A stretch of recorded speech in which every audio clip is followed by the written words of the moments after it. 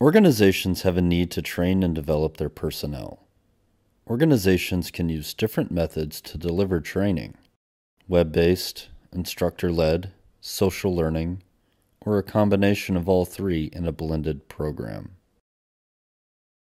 A potentially cost effective way to develop personnel is to leverage capable members of the organization to teach others valuable skills and knowledge in the work environment. This can be done through mentoring, both structured and unstructured. Through proper pairing of mentors and mentees, members of an organization can increase their effectiveness and contribute more to the organization's goals and key results.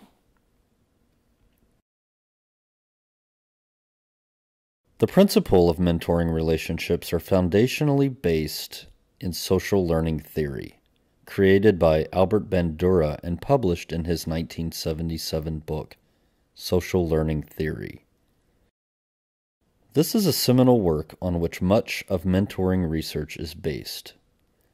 In it, Bandura states that Virtually all learning phenomena resulting from direct experience occur on a vicarious basis by other people's behavior and its consequences for them.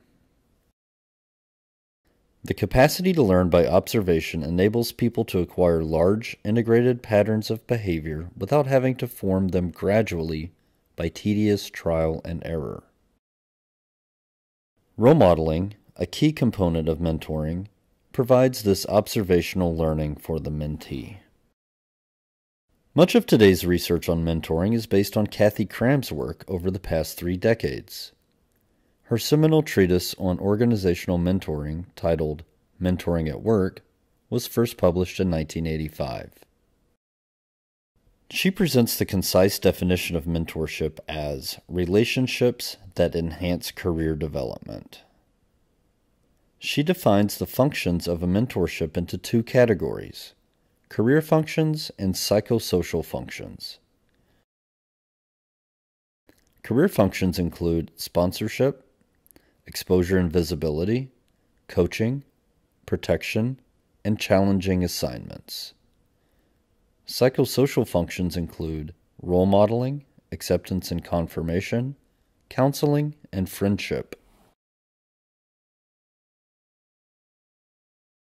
The data on the effects and components of mentorships, both formal and informal, have been extensively documented in research.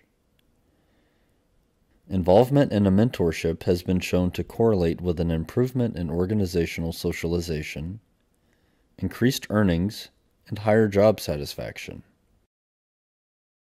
An informal mentorship can be a voluntary relationship between two people and with it come few requirements or expectations.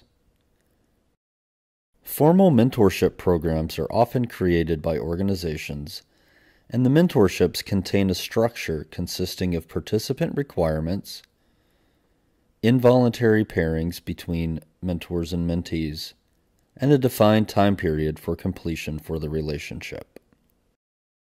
One of the most important variables that determines the success of a mentorship is the amount of time that the mentor and mentee spend together.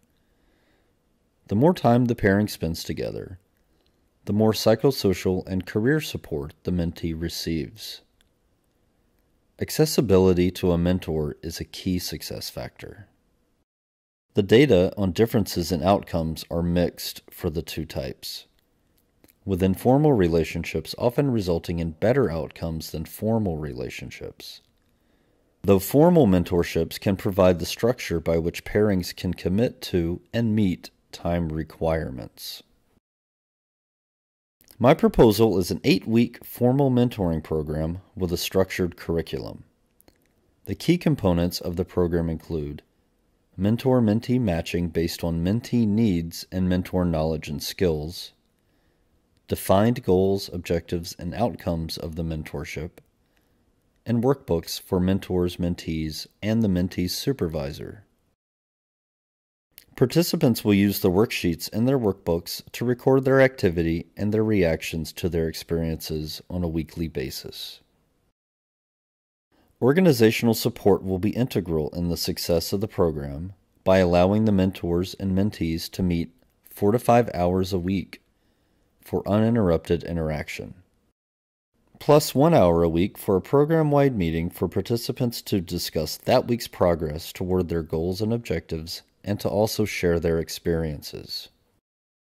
At the end of the eight week period, Mentee progress will be measured through improvements in key performance indicators, self reported improvement in mentee abilities and knowledge, and feedback from the mentor and the mentee's supervisor. The curriculum is designed so that it can be used by any employee at any level of the organization. Role specific aspects of the mentorships will come from pairing assignments and determining goals and objectives. The expected result of this program is a better skilled, more knowledgeable workforce. Over time, a culture of mentoring may develop, improving employee socialization and organizational performance.